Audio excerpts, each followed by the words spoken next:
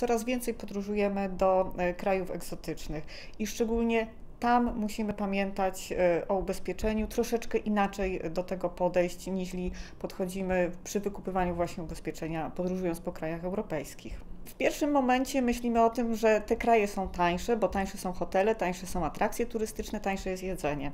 Natomiast możemy być bardzo nieprzyjemnie zaskoczeni w sytuacji, gdy coś się wydarzy, gdy dojdzie do jakiejś sytuacji, gdy musimy skorzystać z y, porady lekarza.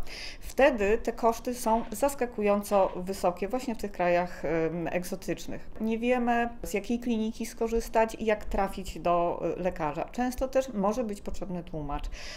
To wszystko może nam zapewnić ubezpieczyciel właśnie w ubezpieczeniach turystycznych.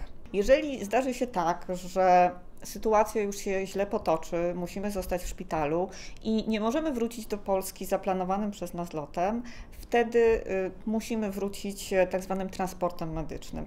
I tutaj koszty są naprawdę ogromne. Takie 200 tysięcy, suma ubezpieczenia, którą klienci lubią najbardziej, najczęściej jest niewystarczająca.